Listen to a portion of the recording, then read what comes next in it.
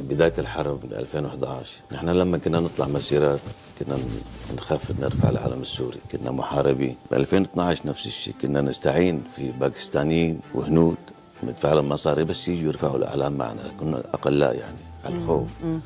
إنه يكونوا دعم لكم دعم حماية إحنا. بدنا نظهر لل- للعالم طريق إنه نحن متواجدين نحن السوريين متواجدين. هذا علم ب 2013 2013 ببدايته إجوا لعندي نحن كنا أمام السفارة السورية مع- عاملين مسيرة. قالوا لي نحن بنتفهم وضعكم الوضع السوري ونحن بنآزركم. إذا بدكم شيء منا نحن جاهزين. هن كحزب قصدك كحزب.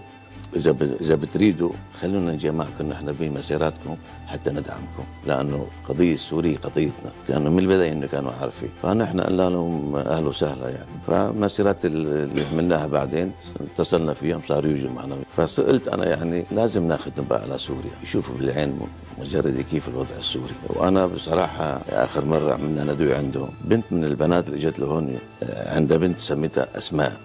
مثل ما آه، آه، وحده من جامعة كمان آه، جابت ولد سميته أسد بيحبوا سوريا ومتعلقين بسوريا. ما بيخافوا لأن لما لأنه هن ثوريين هن بيقولوا عنا إنه هدول الفاشيين. فالفاشي شو هو؟